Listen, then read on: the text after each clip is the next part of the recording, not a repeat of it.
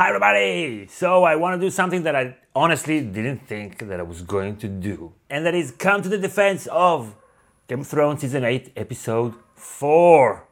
Oh, this episode, The Last of the Starks, has an IMDb rating of 6.7. So first, I want to go through the list of complaints and criticism about the episode which I agree with.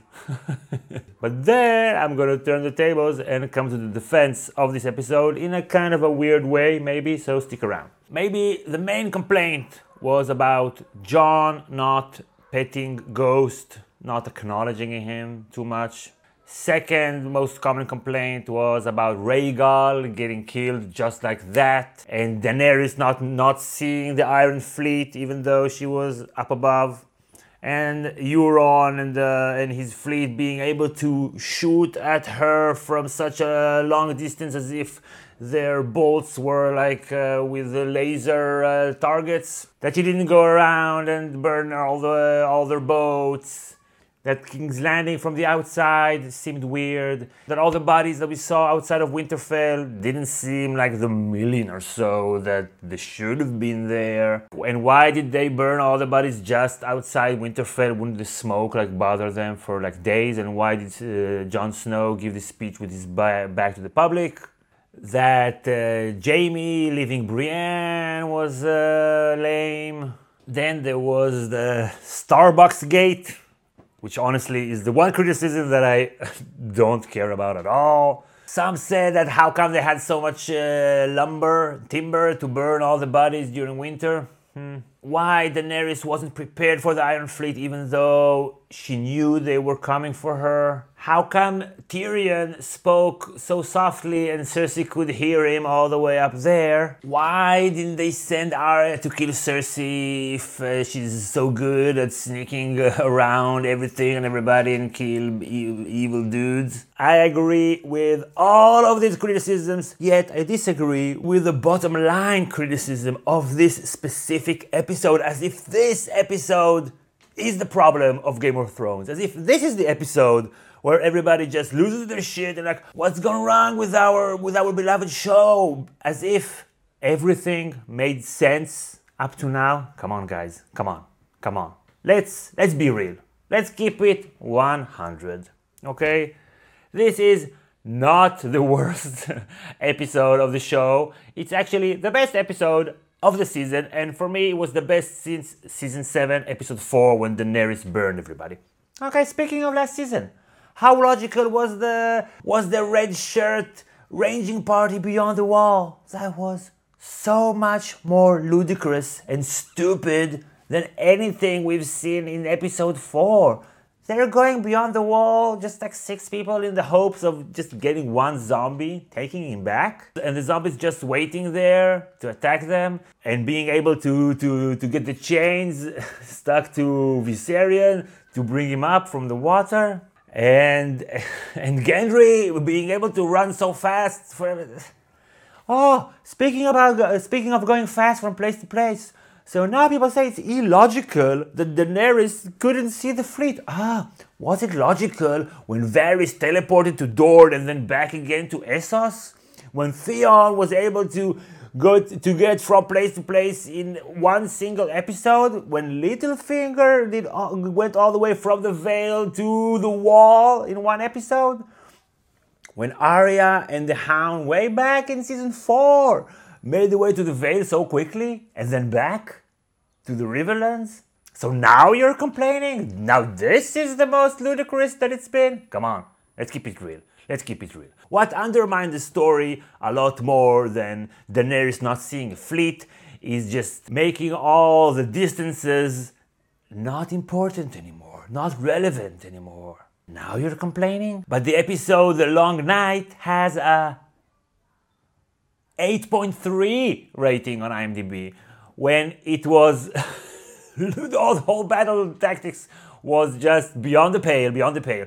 Just let, let's send all our uh, uh, our horse riders just like that, and let's write off all our other non-brown horse riders from the Vale because now they because they didn't appear in the in the episode. And let's defend our city outside the walls. Let's just let's just put like a like a narrow trench and wait for the last moment to put it on fire instead of just burning everything. Oh, and Arya, she just snuck around in there and got to kill the Night King, even though he wasn't on her list and she and, and, and her whole purpose was something else. No. 8.3 rating, right? Come on. And the dialogues in this episode, episode 4, were like 10, 20, 100 times better than anything in episode 1 and episode 2, which were, frankly, for me, embarrassing. And the finale of last season, when they trust Cersei after they show her the corpse, that was totally anticlimactic. But it got 9.5 rating on IMDb. What? And the Beyond the Wall episode got 9.2. Come on. Come on. Come on. Come on. Let's go a little bit further to the past. Ooh, season 6. Season 6. Jon comes back to life with no explanation. Nobody knows why. Nobody knows how. Nobody cares. Nobody asks him. Oh, that made sense. Really. Oh. One of my favorite episodes of, uh, of season 6, The Winds of Winter, the, the last episode, right, when Cersei blows out the, uh, the sept. Her entire plan was premised on, what's his name, Lancel, not being strong enough to extinguish the fire that, should, uh, that would have blown everything away just like lure him into her plan, give him an opportunity to foil her plan, but stab him only in the leg so much so, so, so he can only drag himself there to be so quickly. Oh, that made sense. Ooh, yeah, yeah, yeah, yeah. Did we talk about Arya getting stabbed in the belly repeatedly with a knife, rolling over to a river, and then magic?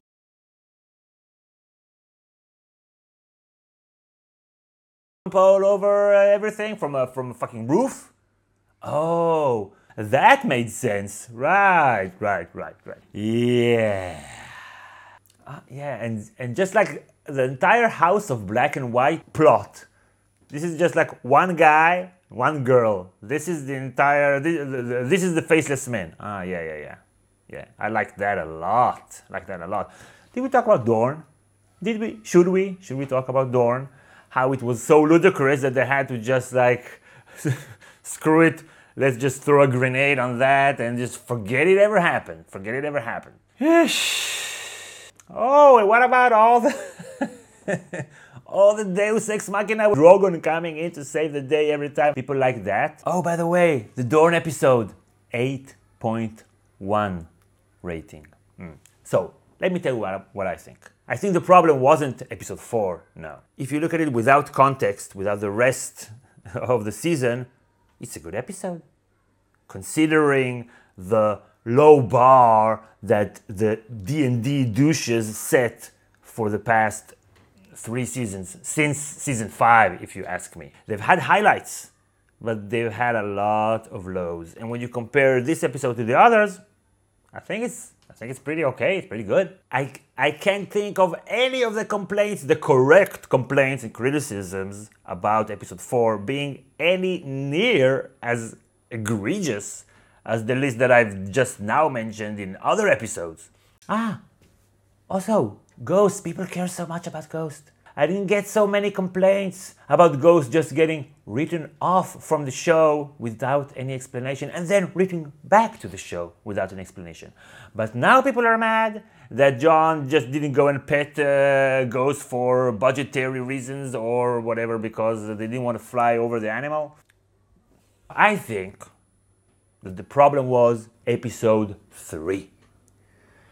Once Arya did the unthinkable and just flew over and stabbed the Night King, and he just shattered into pieces our illusion of the high standard of quality for the show shattered to pieces with it. Once the rosy colored glasses weren't there anymore, once something stupid and that doesn't make any sense happened at a crucial crossroads, not in Dorne or whatever, in Braavos, Arya healing from the wounds. Come on, we could ignore that. Once it happened with the Night King and the illusion was shattered, now, now we can objectively watch the show and now all the problems that were already there, now they're just like glaring and we can't ignore them anymore. I don't think this episode was not even close to be the worst episode of the entire show,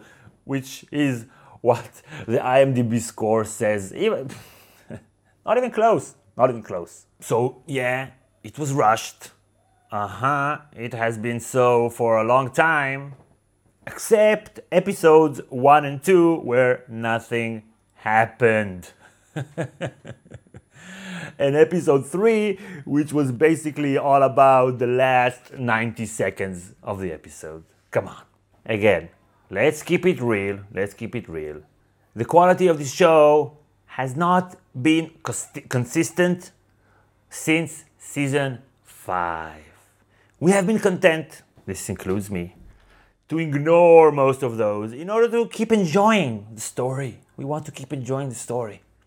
Once a major plot line. The whole magic thing with the White Walkers just got blown into pieces in the most unsatisfactory way. Now we can't ignore all the all these faults anymore in the script. We can't ignore all the character arcs that are un- uneven. Because Daenerys they're hinting, they have been hinting that she's going mad for quite a while. But then no, but then she's fine. And then again, and then no, she's fine. And then again, no. So now, when she finally uh, is about to go over the edge, now people are just like, no, how come? How come this is happening? Because this has been her arc all along. They just did a very bad job at making it look plausible and reasonable. What I think is different is not episode 4, it's our eyes that are different. After we saw the conclusion of episode 3, even though it got such a high rating on IMDb and most of the casual fans liked it, but then they were bombarded by people like us who said, no, no, no, you didn't like it. This was horrible. This was horrible. Now, when they're go- coming in to see the final three episodes, they're like, huh, was this always, did they always have these uh, plot problems? Huh? Yeah. How come this bolt hit her from so far? Hmm. Yeah. Oh, and the Starbucks cup. Yeah. No, no, no, no. Come on. Come on. Come on, everybody. Come on. I've been saying this since episode one. We have to accept the show for what it is. They are not very good. They're not very smart, I think. They're very, very lazy. They are full of hubris. This is it. The channel's hi- highest viewed videos for three seasons has been the video that is saying basically the show is deteriorating. Okay, it was true season six, season seven, and now season 8 mm-hmm. So the evidence was here for all that time. Okay, I think we have only two episodes left. I'm gonna post tomorrow the episode 5 predictions video. Okay, let's try and put all the correct and valid criticism aside. Just watch the show for what it is. Okay, this is the story that we have been following for eight seasons. We want to know how it ends up. We want to know who wins. We want to know who loses. Let's just enjoy the ride as much as we can. Let's take a breather. I'm sure the last two episodes won't be any better than episode 4, probably the same, okay? We've followed up to now. Let's give the final push. Enjoy it for what it is, okay, everybody? So, thank you, everybody, for watching. You can tell me in the comments how much you disagree with what I just said.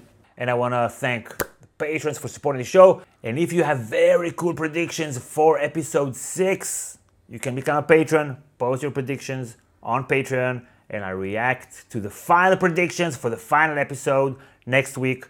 The predictions for this episode, episode 5, I will post tomorrow. See you, see you next time, everybody. Bye bye. Got Academy is sponsored by our patrons.